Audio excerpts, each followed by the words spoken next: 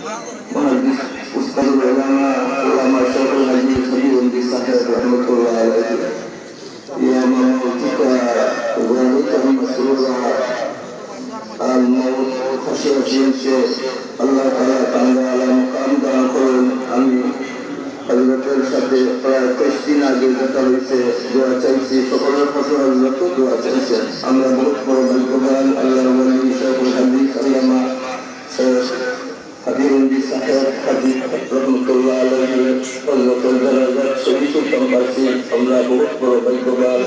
আল্লাহ তালা আমরা আর হজরতের সহজে কবুল করুন ঠিক আছে